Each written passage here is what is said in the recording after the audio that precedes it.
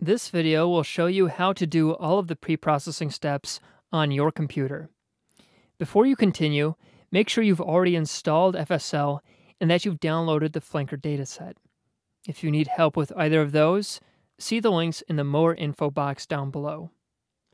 This tutorial is split into three shorter videos, one covering brain extraction and a brief introduction to the FSL data viewer, one showing you how to use Feat, which does most of the pre-processing steps, and a final video demonstrating how to check the pre-processed images. Let's start with brain extraction. To begin, we need to remove the skull from our anatomical images. We do this for two reasons.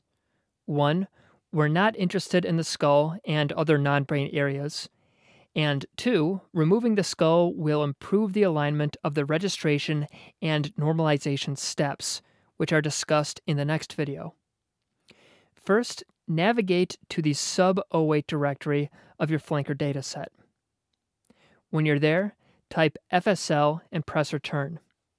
This opens the FSL Graphical User Interface, or GUI. The first button on the menu is BET Brain Extraction. Click on it, and notice that it opens up another window. Most of the FSL tools have a field for both the input image, which is the image we want to apply some process to, and an output image, which is the image that is created after the process is completed. Click on the folder icon to select an input image and select the anatomical file in the ANAT directory. Click OK. Notice that this automatically fills in the output image field with the name of the input image and underscore brain appended to it.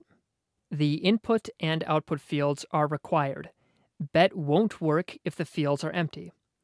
The other fields are options, which you can change if you want. Usually, it's best to leave the defaults alone. They've been selected because they give good results for most datasets. For now, click the Go button to run BET. When you see the word finished in the terminal, you'll want to look at how BET changed the image and you'll want to make sure there weren't any problems. Click on the FSLeyes button at the bottom of the FSL menu. This opens up the FSL Data Viewer, which is useful for looking at data after each processing step. Click on File, Add from File, and then hold down Shift to select both the raw and the brain extracted image. Once they've loaded, set the max contrast to 800 for both images to produce the best contrast between the tissue types. Then in the Overlay List panel, highlight the brain extracted image and click on the up arrow next to it to make it overlay the original image.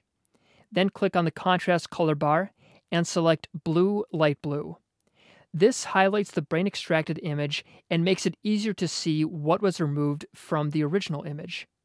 In this case, everything highlighted in blue is the brain extracted image, if you see any gray matter outside of the blue outline, that means brain tissue was removed by BET. If, on the other hand, you see bits of skull within the blue outline, that means some non brain areas were not removed. Click and drag the crosshairs around the image to see whether too much brain was removed or whether too much skull remains. In this case, it looks like BET was too aggressive.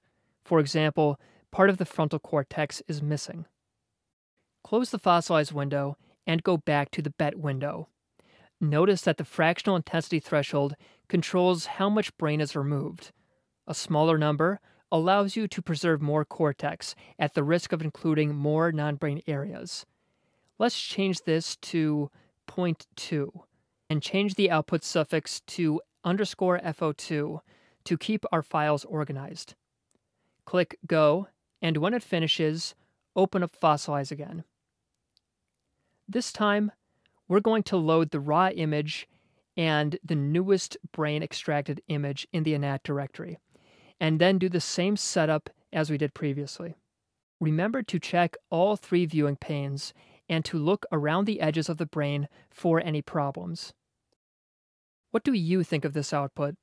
Is it better or worse than before? If you have to choose, I recommend using a lower threshold, even if that means keeping parts of the skull. For registration and normalization, it tends to be less problematic than the alternative. In the next video, we'll look at the Feat button, which will do the rest of the preprocessing steps.